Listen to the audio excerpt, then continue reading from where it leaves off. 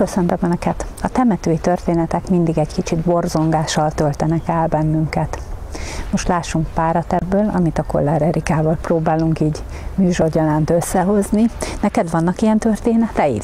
Egy-kettő szájhagyomány útján eljutott hozzám. Mint például? Például egy nagyon kedves történetnek tartom azt, és végtelenül tanulságosnak. Fiatal fiúk, sötétben, vaksötétben, bátorság próba gyanánt, kimentek a temetőbe, amit tudni kell, hogy ahol én felnőttem vidéken, ott a temető egy kilométerre található a falu szélétől, gyakorlatilag az erdő közepén. Ott semmi nincsen. A zőzikéken, meg a nyuszikon kívül, meg a sírokon kívül. És a fiúk eldöntötték, hogy hát ők bemernek menni éjfélkor a temetőbe. Ki is sétáltak, és abban a pillanatban, amikor a fiú rátette a kezét a temetőnek a kapujára, megszólalt egy bagoly a közvetlen közelükben. Na most annyira megijedtek, hogy gyakorlatilag egy lélegzettel futották le az egy kilométert vissza a faluig. Én ezért, nekem ez a történet azt a tanulságot adja, hogy azért a temető nem arra való. Lehetünk bátrak, menjünk ki, este, éjszaka, éjfélkor teljesen mindegy. Én is kimegyek halottak napján is sötétbe gyertyát égetni, meg ha úgy van kedvem bármikor, de nem azért, mert én bátor vagyok, hanem mert akkor szép, nyugodt, akkor éppen arra van szüksége a lelkemnek. Ez egy ilyen történet volt. Te tudsz ilyet?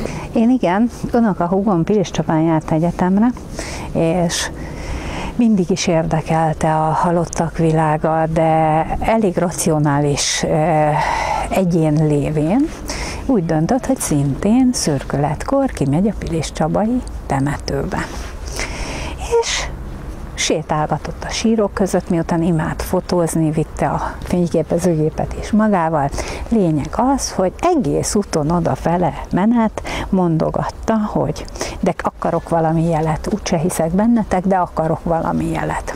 Na most azt tudomásul kell venni, azt mondja, beért úgy körülbelül a temető közepébe, és szinte az egyik karja lefagyott, olyan hideg lett. Na most tudjuk azt, hogy a hideg az egyfajta jelzés a halott lérekről, hiszen ő nem él. Tehát a mi világunkban a hideg egyfajta borzongás, vagy az, hogy mondjuk egy kicsit lehűl az embernek bizonyos testrésze, az Igen. erről szól nem a keringési problémásokra gondolok most, hanem kimondottan tehát a, a halottakkal való, vagy a lelkekkel való kapcsolatra.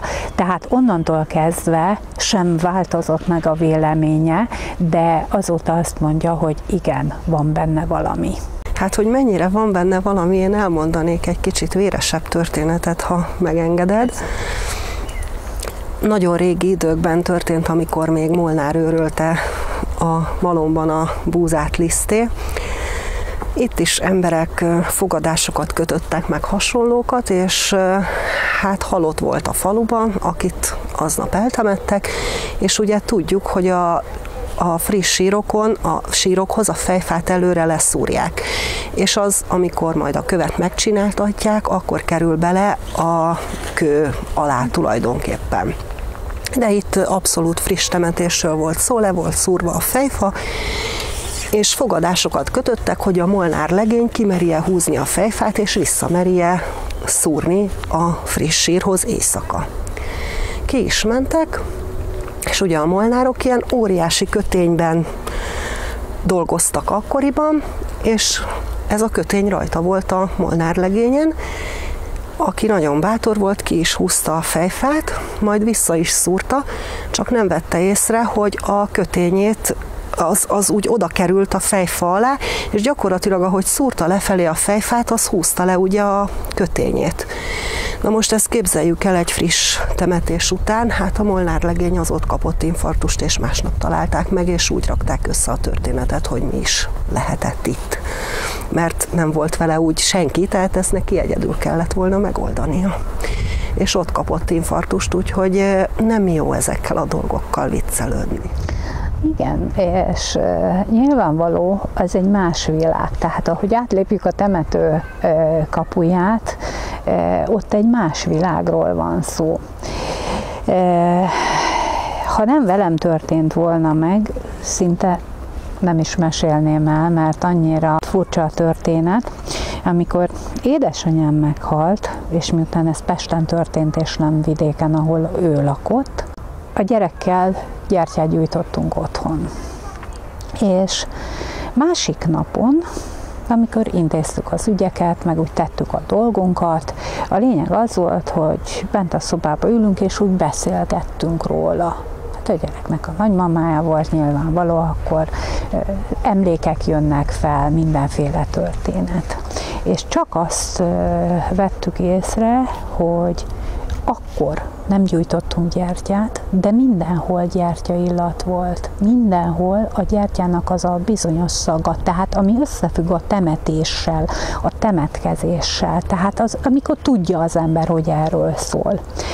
És érdekes módon iszonyatos csörömpölés volt a konyhában, és akkor mondtam a Renének azt, hogy tehát ne menj ki, mert most neked nem kell ott kint lenni, most a halottak ülik a tort.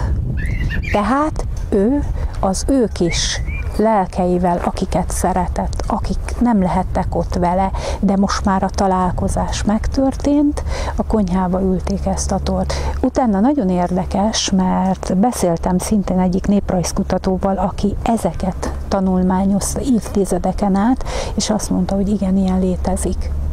Tehát én erről effektíve nem tudtam, de ha, ha utána lerakta elém azokat az iratokat, azokat a kódexeket, hogy igen, ez létezik. Igen, Tehát hihetetlen érzéssel töltött el, én csak annyit tudtam a gyereknek mondani, hogy most nem menj ki. Majd, majd, és utána, amikor megszűnt a csörömből, és körülbelül egy fél óráig tartott. Az jó hosszú idő. De, de nagyon érdekes volt, kiszellőztettünk, aztán ment minden a maga rendjén, azóta nem is beszéltünk róla. Biztos, hogy jeleznek a halottak, és én továbbra De ez is... csak róluk szólt. Értem. Mert oda mi nem kellettünk, mi élők voltunk, tehát a halotta halotta. Fölöslegesek voltatok. Igen. De tiszteletben tartottátok az akaratukat, kivonultatok a másik szobába, és megvártátok, Igen. amíg vége lesz. Szintén vidéken, vidéken történt, fel volt ravatalozva az édesapa, és falun úgy történik, hogy akkor boldog-boldogtalan mehet őszinte részvétet kívánni, főleg az alkoholisták azért szeretnek ilyenkor oda menni, mert kapnak egy kupica bort, és vagy pálinkát, és azt a halott üdvérért elfogyaszthatják. Na de ilyenkor nem is a halott üdve a fontos, hanem az, hogy az ő szenvedélyük, amit nem ítélhetünk el, mert mindenkinek saját, elég baj az és annyira nem szerette az alkoholistákat ez a bizonyos apa, hogy mindenki hallotta azt, mintha egy mennydörgésként valami végig vonult volna a mennyezeten.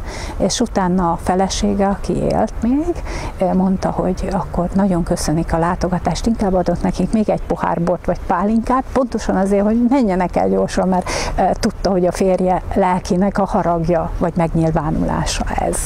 Nagyon fontos a halottunk, szerettünk szokásait, akaratát tiszteletben tartani a halála után is. Én olyan dolgokat éltem meg, hogy pontosan tudtam, hogy mi az, amihez hozzányúlhatok, mi az, amit eltávolíthatok, mi az, amit elajándékozhatok, mi az, amit pénzért adhatok el, volt olyan, amit félretettem, hogy kidobok, és utána tudtam, hogy vissza kell hoznom, és vissza is hoztam, és akkor volt nyugalom a lakásban is, meg nálam is.